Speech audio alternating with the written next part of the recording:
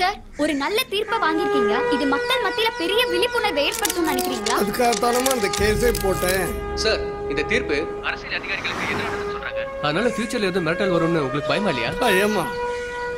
பயம்னு ஒண்ணு இருந்தா பப்ளிக் லைஃபுக்கே வரக்கூடாதுன்னு. நான் சின்ன வயசா இருக்கும்போதே ராஜாஜி சொன்னது மைண்ட்ல இருந்துகிட்டே இருக்கு. எனக்கு பதினாலு வயசு இருக்கும். அப்பெல்லாம் பத்து படி அரிசிக்கு மேலே ஒரு இடத்துல இருந்து இன்னொரு இடத்துக்கு கொண்டு போகக்கூடாதுன்றது சட்டம்.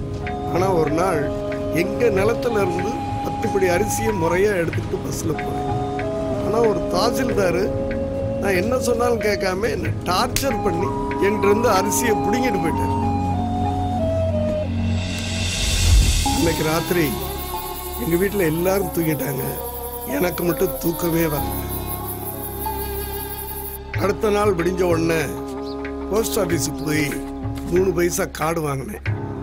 அந்த தாசில்தார் மேலே கம்ப்ளைண்ட் எழுதி கலெக்டருக்கு போஸ்ட் பண்ணேன்.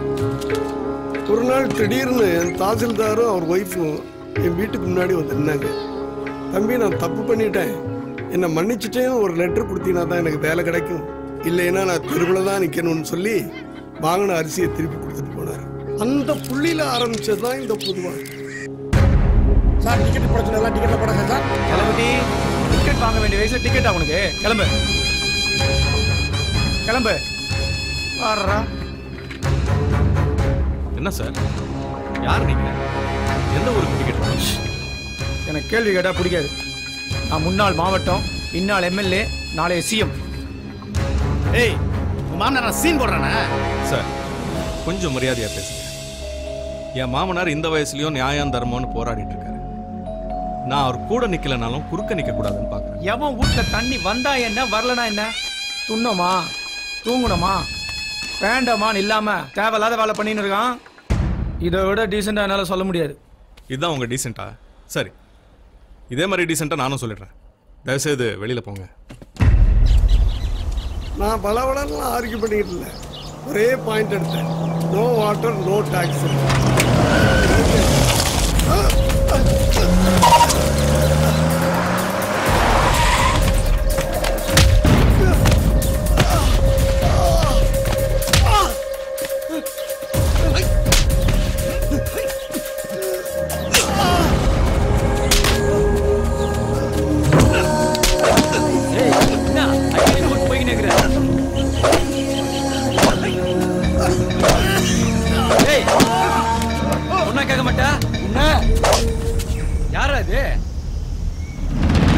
இதோடா விஜய் ஆண்டனி சார் நல்லா இருக்கீங்களா நல்லா இருக்கேன் என்ன பிரச்சனை? ஏன் வேலை அடிக்கிறீங்க? சார் உங்களுக்கு தேவையில்லாத வேலை சார். நீங்க கிளம்புங்க. தம்பி அவர் எனக்கு தெரிஞ்சவர் தான் பாவம் வயசானவர் விட்டுருங்க. சார் வயசானவ மாதிரி நடந்துக்கிறான். சார் விடுங்க சார். சொல்லிக்கிட்டு சொன்னா கேட்க மாட்டேன். கையேறலாம்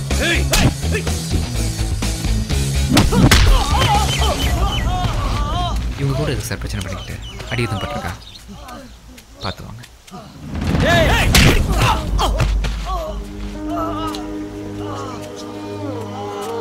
ஏன் சார் இந்த வயசுல எவ்வளோ கஷ்டப்படுறீங்க? அதெல்லாம் பார்த்தா ஜனங்களுக்கு ஏதாவது நல்லது பண்ண முடியுமாப்பா? எனக்கு பழகி போச்சு. ஷூட்டிங் டைம் ஆச்சு. மேனேஜர் ஃபோன் பண்ணா போல. நான் வேணா உங்களை ட்ராப் பண்ணிட்டுமா சார்? இல்லை தம்பி நீங்க புறப்படுங்க சார். அப்போ நான் கிளம்புறேன்.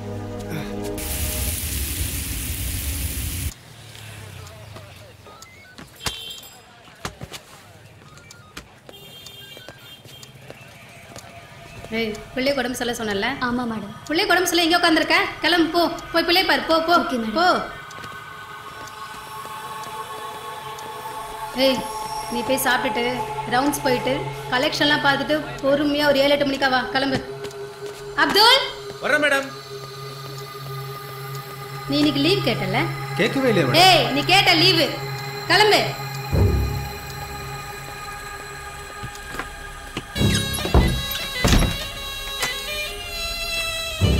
மோஸ். மேடம்.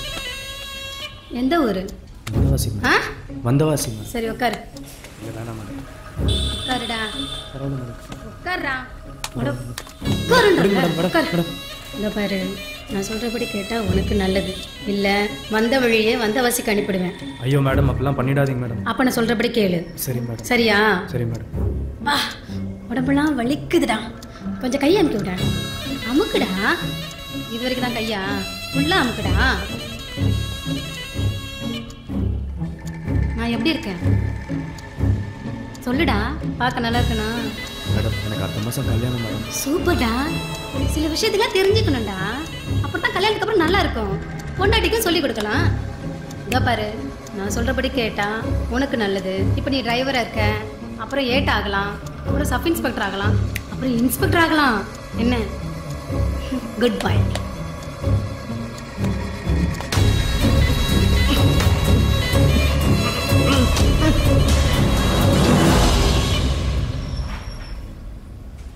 ச்சே என்ன போலீஸ் ஸ்டேஷனா இல்லை ப்ராஸ்டியூஷன் சென்டரா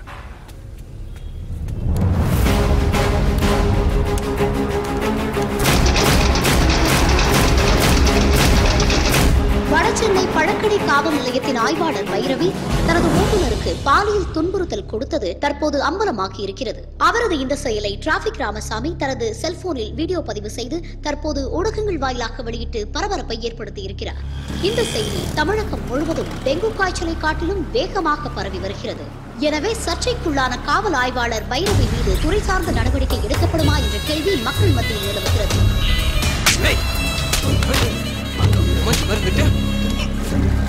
யார் பாணி எதுக்கு அடிக்கிற?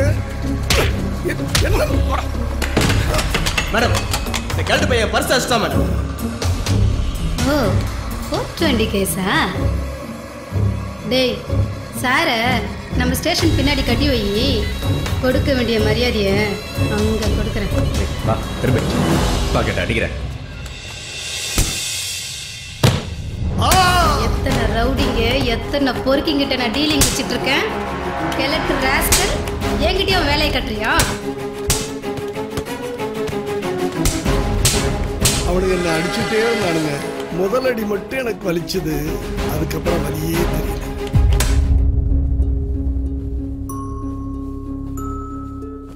அம்மா உங்களை சாப்பிட கூப்பிட்டாங்க. தாத்தா வரட்டும். அவரோட சாப்பிட்றேன்னு சொல்லு.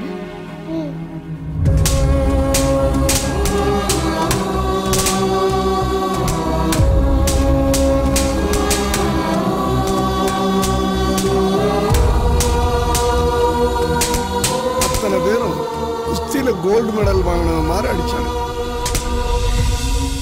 நேற்று காலையில் போன மனுஷன் இன்னும் திரும்பி வரல. எங்க போனாரு எதுக்கு போனாருன்னு ஒன்றும் தெரியல. நெச்சில் படபடன்னு இருக்கு.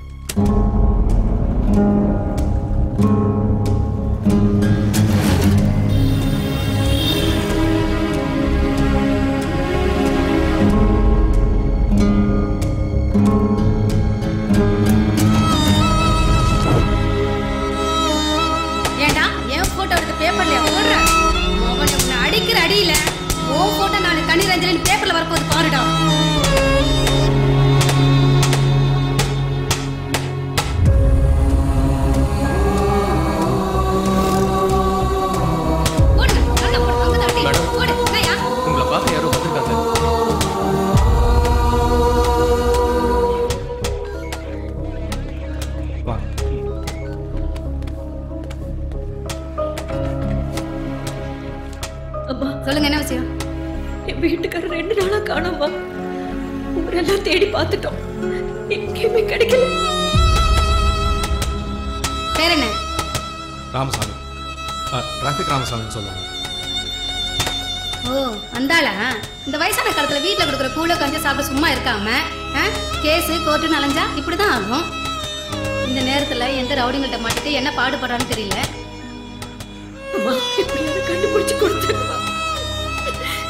சரி கண்டுபிடிச்சு தரேன். போங்க. வாங்க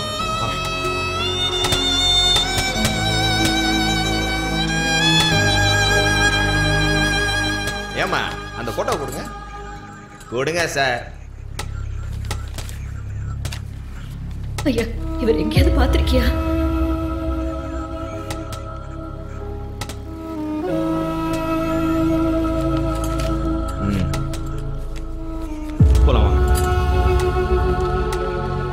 யோகா நீ எல்லாம் ஒரு பொம்பளையா?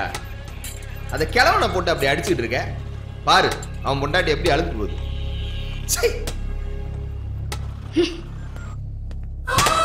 அவனுங்க என்ன தலைகீழ தொங்க விட்டு அடிச்சானுங்க. ஆனா என் கண்ணுக்கு பாவம் அவனுங்க தான் தலைகீழ தொங்குற மாதிரி தெரியுது.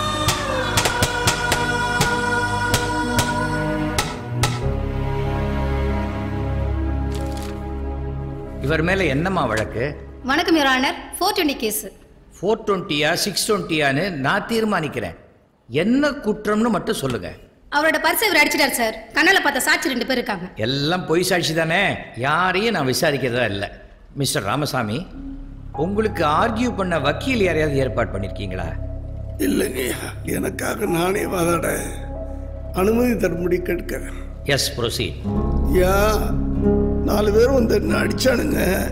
அதை பற்றி கம்ப்ளைண்ட் பண்ணலான்னு போலீஸ் ஸ்டேஷனுக்கு போனேன். அது பூட்டி கிடந்துச்சு.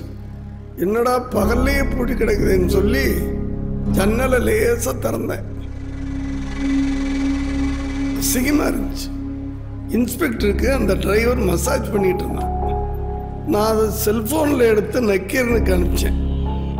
அந்த கடுப்புல இவன் என்னை பிடிச்சி இழுத்துட்டு வந்து அடிச்சு உதைச்சு பிக் பாக்கெட் கேஸ்ல இங்கே கூட நிறுத்தி எதுக்கு இல்லாத பொழைய சொல்லிட்டு போய் சொல்லி திரியற நீனே? அப்ப நம்ம பழி சொல்லி என்ன ஜட்ஜ் ஆயிட்ட மாட்டி விடுறியா? மா இல்லாதெல்லாம் சொல்லலம்மா. என்ன நடந்துச்சோ அதைத்தான் என்ன சொல்ல நடந்துச்சு? என்னத்த பார்த்த? அதுக்கு சாட்சி வச்சிருக்கியா நீ? சாட்சி தான் ஊரெல்லாம் எல்லாரும் பார்த்துட்டாங்களேம்மா. இருந்தாலும் ஐயா பார்க்கறதுக்கு இந்தாம்மா இதை ஐயாட்ட கொடுங்க. சொல்லிக்கிட்டே இருக்கேன். நீ பாட்டுக்கு நான் சாட்சி கொடுக்குறேன்ட்டு மனக்கட்டி கொடுக்குறேன்னு இன்ஸ்பெக்டர் ஸ்டாப் இட் கோர்ட்லயே இவ்வளவு இன்டீசெண்டா பிஹேவ் பண்றீங்க? உங்க ரவுடித்தனத்தெல்லாம் போலீஸ் ஸ்டேஷன்லயே வச்சுக்கோங்க. இங்க புக்கை கிழிச்சு போட்டிருக்கீங்களே இது contempt of court sorry your honour ஒரு புக்கை கிழிச்சு போட்டீங்க இன்னும் நாலு லட்சம் காப்பி இருக்கே. என்ன பண்ண போறீங்க? உங்க மசாஜ் கதை தான் ஊரெல்லாம் நாறுதே. ஒருத்தர் அரெஸ்ட் பண்ணா பன்னெண்டு மணி நேரத்துல கோர்ட்ல ப்ரொடியூஸ் பண்ணும். இதான் ரூல் தெரியும்ல? ஆனா உங்களுக்கு ஒருத்தர் பிடிக்கலன்னா வெள்ளிக்கிழமை சாயங்காலம் அரெஸ்ட் பண்ணி சனிக்கிழமை ஞாயிற்றுக்கிழமை போலீஸ் ஸ்டேஷன்ல வச்சு மாத்து மாத்து மாத்தி டார்ச்சர் பண்ணி திங்கட்கிழமை காத்தால ஒரு பொய் கேஸை போட்டு கோர்ட்ல ப்ரொடியூஸ் பண்ணிடுவீங்க. என்னம்மா அடிச்சிருக்கீங்க?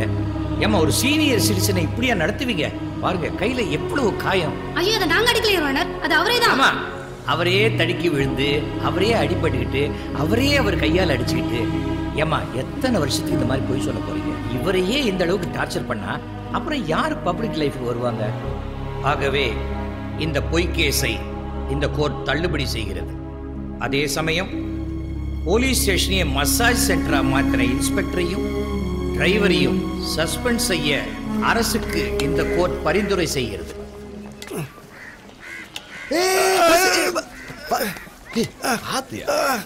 நான் வேணா வீடு வரைக்கும் வந்து விட்டு போவா? உன்னை பார்த்தா பாவமா இருக்கியா. பாவம் இருக்கா? நான் நல்லா தானே இருக்கேன். எங்க நல்லா இருக்கு? ஆ, தலைவி. கொத்து பரண்டா மாதிரி பிச்சு போட்டிருக்கானுங்க. நல்லா இருக்கேன்.